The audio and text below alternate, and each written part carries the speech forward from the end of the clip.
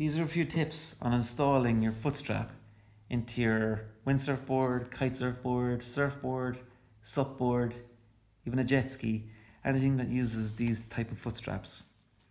The first is if your foot strap adjusts like this, have the water flowing over your foot strap to keep that closed. To me that's backwards, that could open. That's the correct way around, water flows over.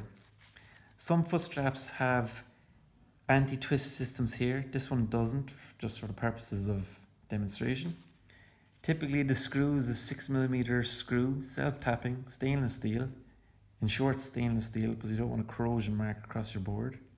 This, this screw is about 30mm long. Position the screw over the hole in the foot strap plug of your board. Don't miss the hole in the foot strap plug, else you'll drive the screw into your board and need a repair. When it's positioned, grab your screwdriver and you want to be exerting a downward force plus the turning moment at the same time. And the reason you're doing that, you're compressing this part of the foot strap, you're compressing the EVA foam on the deck pad of the foot strap, so there's a high force. You can end up stripping the hole inside the foot strap plug.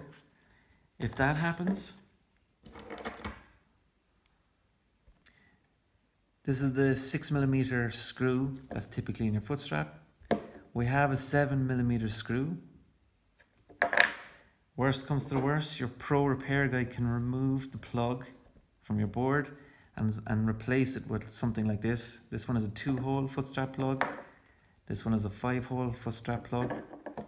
One other thing on your screwdriver, typically these tips are a PZ2 for the modern windsurfing, surf, kite, stand-up boards. This tip, we break one at least every 12 months or we wear it out. Rather than throw away your whole screwdriver, it's handy to have a removable tip that you can responsibly recycle.